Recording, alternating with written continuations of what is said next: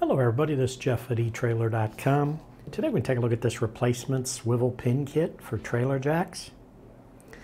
Now this part here is designed to fit the Dutton Lainson pull pin easy swivel trailer jack. We do sell that jack separately on our website. It's part number DL22580.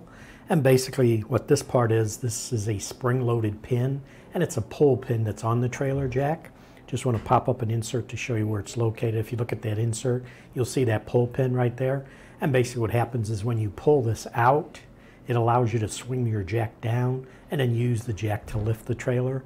And when you're done with it and you crank your jack back in, you can pull it back out and it allows you to swing your jack up along the trailer when the jack is being stored, when, being, uh, when you're in the travel position.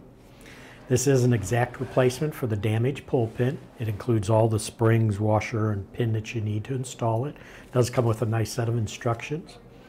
It is for a quantity of one swivel pin kit, and the diameter on this pin is a half an inch. You can see it has the black handle, grip handle on it to be used to pull it out.